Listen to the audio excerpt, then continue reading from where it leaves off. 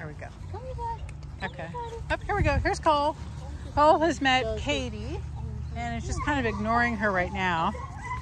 And uh, and that's okay. We're okay with that. Here we go. Katie, you're such a pretty girl.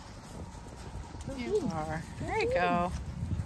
Yeah, so they're here. they're loose. They're just kind of ignoring each other. Um. What's up, Cole? Cole is we've had him out with several dogs and he's been very, very good. Yeah. Hi Cole. Yep. There's Fergus on the other side, and we're going to get to him. And Katie's coming over to uh, see what's going on. Good job. Nice. All right. There we go. Good job, guys.